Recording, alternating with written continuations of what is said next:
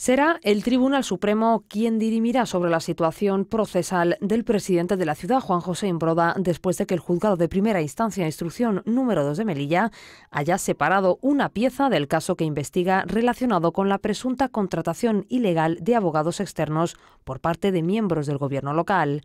Así lo ha anunciado hoy Populares en Libertad, que recuerda que la contratación realizada por Imbroda, cifrada en 350.000 euros sufragados por las arcas públicas, se realizó sin pasar siquiera por el Consejo de Gobierno. El señor Imbroda es aforado, no por ser presidente de la ciudad de Melilla, sino por su condición de senador del reino. El juzgado número 2 ha abierto piezas separadas en los hechos que está investigando y ha remitido las mismas al Tribunal Supremo para que decida sobre la situación procesal del señor Imbroda.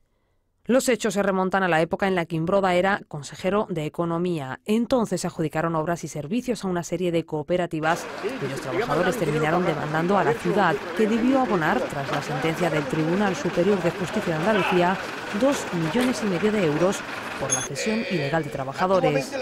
Para hacer frente a estas demandas, Imbroda prescindió del gabinete jurídico del ayuntamiento para contratar por cientos de miles de euros y sin ni siquiera consultar al Consejo de Gobierno a un abogado externo que, además, era tesorero del Colegio de Abogados, cuyo decano es el hermano de Imbroda. Según PPL, el presidente podría entonces haber incurrido en la comisión de delitos de prevaricación administrativa, malversación de caudales públicos y fraude. Pero mientras la situación de Imbroda queda pendiente del dictamen del Supremo, la causa que continúa abierta en el juzgado de Emilio Lamo de Espinosa ha imputado a otros miembros del Gobierno, como la consejera de Bienestar Social y Sanidad o el interventor general de la ciudad. En estas mismas investigaciones judiciales sobre las contrataciones de abogados,